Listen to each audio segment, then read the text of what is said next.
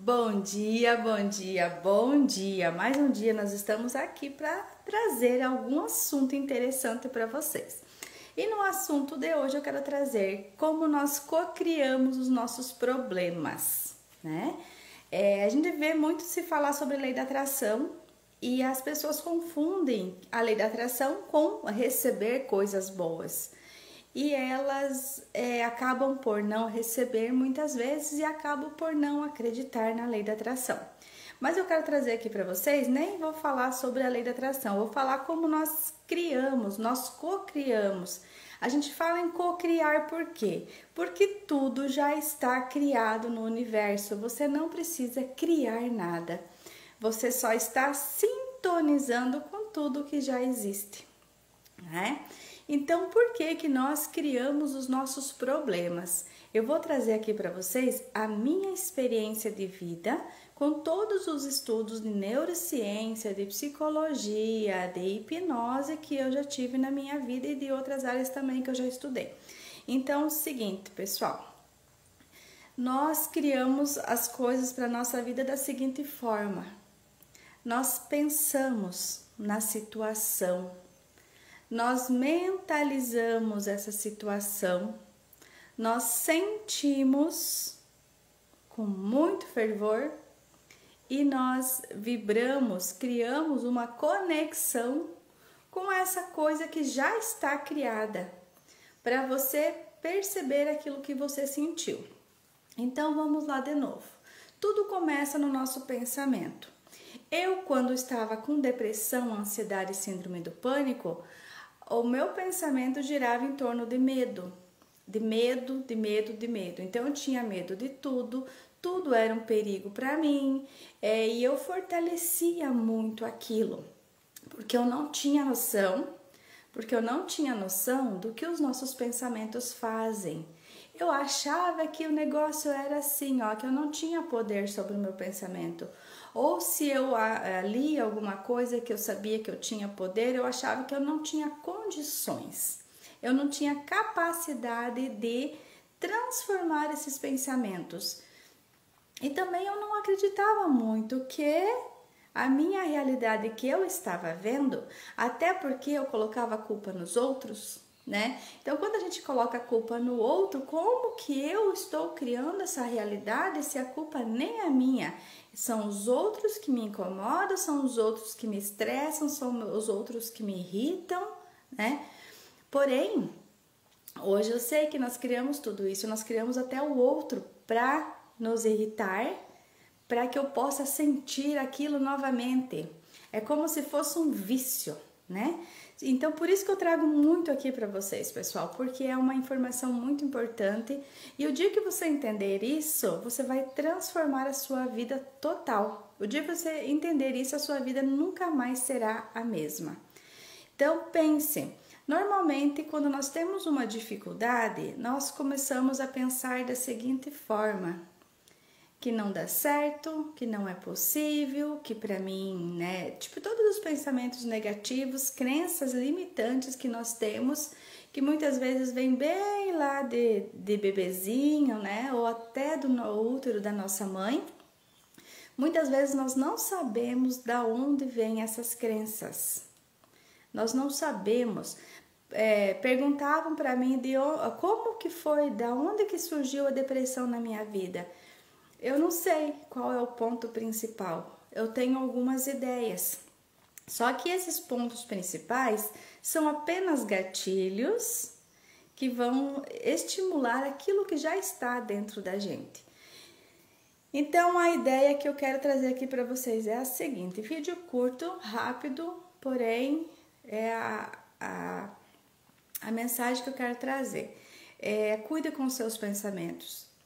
Se você tem um pensamento destrutivo, transforme ele para um pensamento é, construtivo. Nem que não seja verdade hoje. Talvez hoje não será verdade, mas se você fizer isso por três, quatro, cinco meses, você já começa a perceber a sua vida transformar.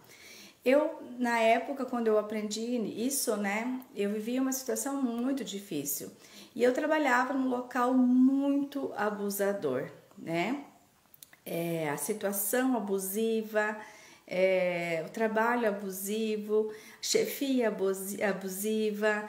Então, assim, era muita escravidão total. Eu não podia nem pensar, né, diferente do que é, eu pensaria, né? Então, assim, é, muitas pessoas se identificam com isso, porque dependendo do local que você está, você não pode ser você mesmo. E eu trabalhei por muitos anos nesse local. Então, eu perdi a minha essência porque eu pensava, é, eu tinha que pensar de acordo com a, né, a chefia. Só que não era o que eu concordava com isso. Então, lógico que aí aumenta mais ainda a tristeza, o desânimo na nossa vida. Então, o que, que acontecia naquela época comigo? Toda essa situação desafiadora na minha vida é, era muita escravidão mesmo, sim, eu me sentia muito sufocada, muito sufocada. E só que eu criava tudo aquilo para minha vida também, né? Às vezes as pessoas falam assim: "Ah, por que que você não saía de lá?" Porque eu tinha tanta crença limitante, eu tinha tanta crença limitante que eu não acreditava que outra pessoa iria me pegar para trabalhar eu me achava tão ruim, né? Ao mesmo tempo que eu me achava tão boa naquela situação que eu estava fazendo, eu tinha certeza que nenhuma outra empresa me pegaria para trabalhar. Olha que nível de loucura que a gente passa. Eu, graças a Deus, hoje eu vejo a juventude, né, já bem mais despachada do que a gente, mas há 20 anos atrás não era tão simples assim, ou pelo menos para mim não era tão simples, porque eu venho de uma família onde as crenças é assim, você entra num trabalho, você precisa ficar naquele trabalho muitas vezes até se aposentar, né? E você não pode reclamar, você tem que fazer o seu serviço muito bem feito e a culpa sempre é tua se você não conseguiu, né? Hoje eu vejo que não é culpa, mas sim responsabilidade, porque nós criamos as nossas coisas para nossa vida, eles são apenas atores. Então, voltando ao assunto. Então, quando eu saía do meu trabalho, eu dizia, nossa, que, né, que M, é, odeio trabalhar aqui, a minha chefe é grossa, é estúpida, é ridícula, eu, né, eu odeio, não gosto. Então, tipo, todas as coisas que me desafiavam ali, eu ficava falando no meu pensamento e falava para as pessoas também. Então, a dica que eu dou hoje, para com tudo isso. Porque toda vez que você fala sobre algo que está te incomodando, você está criando mais disso para sua vida de novo. Se você precisa desabafar uma, duas vezes, tá tudo bem, tá? Tá tudo bem. Você não pode desabafar muitas vezes, você não pode ficar repetindo essa história muitas vezes, porque toda vez que você repete, ela está criando mais conexões cerebrais e ela está criando mais disso para sua vida de novo. Olha só que interessante. Ah, mas se eu repito que eu quero acertar na Mega Sena, eu nunca acerto. Porque a sua emoção em acertar na Mega Sena não é a mesma emoção que você está colocando, no meu caso, no meu trabalho. As situações difíceis da nossa vida, nós colocamos muita emoção. E muitas vezes que a gente fala, a gente chora, a gente se emociona, a gente se irrita, a gente, é, né, sabe, tem aquela força, aquela potência emocional. É isso que cria. É isso que cria a tua realidade. Então, se você precisa desabafar uma, duas vezes, tá tudo bem com pessoas é, preparadas para isso, que vão te ouvir, não vão te julgar e vão te ajudar a sair disso. Não adianta aquela pessoa que fica é, dez vezes falando a mesma coisa, repetindo a mesma coisa para diluir aquilo. Aquilo lá até vai diminuir, mas você está criando novas coisas. Então, eu fiz muitos processos, né? Passei por várias situações, vários tratamentos e muitos deles ajudaram a, a reconstruir a mesma história de novo. Né? Então é bem interessante olhar para isso. Então, o que, que eu fazia quando eu pensava sobre o assunto e me irritava? É, eu, eu entendi né, que os nossos pensamentos criam a nossa realidade. E eu pensava, nossa, mas tá, mas eu tô pensando porque a minha realidade tá assim, não é o meu pensamento que está criando a minha realidade.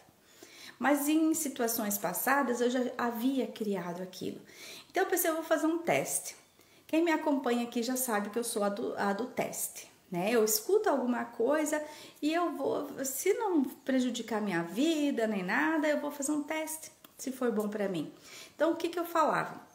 Quando vinha aquela toda aquela história ruim na minha cabeça, eu pensava assim, eu imaginava que eu estava contando para alguém, né, uma amiga minha, por exemplo, é, aquela pessoa que você mais conta fofoca, sabe, e desabafa, então você vai falar com essa mesma pessoa, você vai fazer a seguinte técnica. É, fulano, você não imagina como o meu trabalho hoje foi legal.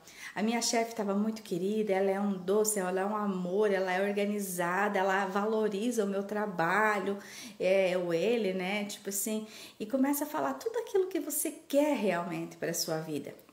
Você vai perceber, gente, que em três, quatro, cinco meses que eu falei ali, a tua vida está toda transformada nessa área. O mesmo acontece com um filho, por exemplo né?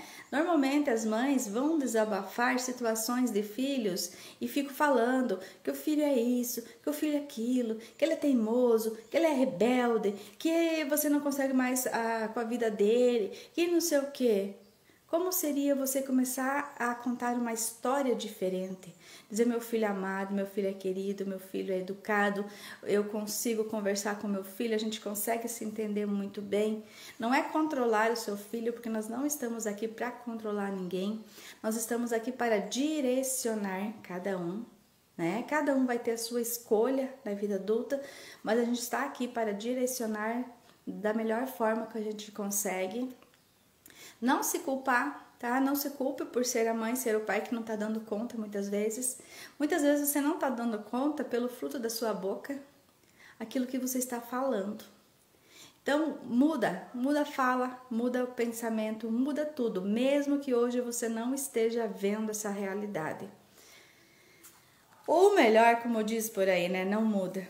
Não faça nada e continue essa vida que você está tendo, que muitas vezes é a vida que vai te levar para mais derrota, mais encrenca, mais tristeza até o fundo do poço. Ou você escolhe mudar, né? E é, e é aqui é conversa de adulto, tá, pessoal? Não é conversa de criança. É conversa para adulto, aquele adulto que se responsabiliza pelas coisas erradas que está fazendo. Eu, quando trabalhava nesse trabalho, eu era um bebê. Eu era um bebê que eu não conseguia escutar uma conversa como essa. Porque eu já, né, eu já chorava, eu já imaginava que, né, o que, que eu fiz de errado, então eu sou culpada, então, ah, tá, tá, tá. Sabe aquela coisa toda lá que não leva a nada? Conversa de adulto é o seguinte, né? É você escutar uma informação como essa e dizer, nossa, realmente eu estou fazendo isso. Então eu vou pegar essa informação e vou mudar, simples assim. Não se culpe, não se magoe, não se chateie, não faça nada. Só muda. Só muda. Se você arrumou uma mesa, por exemplo, e colocou um vaso de flor lá e ele não tá legal, o que, que você faz? Você muda e tá tudo bem, não precisa nem ter emoção no meio disso. Agora, se você quer criar uma vida legal, procure emocionar-se com a alegria, gratidão. Por que, que a gente ensina tanto a gratidão, né, na internet, falando sobre a gratidão? Mas não é obrigado, aquele obrigado assim, né, receber alguma coisa, ah, obrigado, obrigado. Isso aí é, é besteira, né? É gostoso para quem ouve, é bonito para a sociedade. Mas o mais interessante, o que cria mesmo as coisas, são aquelas que você sente de verdade, sabe? Aquilo que você sente lá no fundo do seu coração a gratidão que você sente ali, a alegria que você sente. E quanto mais disso você sentir, você começa a perceber que o teu pensamento está pensando coisas boas também. Logo, coisas boas começam a acontecer na sua vida. Ok? O recado está dado e amanhã nós estaremos aqui para mais um assunto interessante. Gratidão e até o próximo vídeo.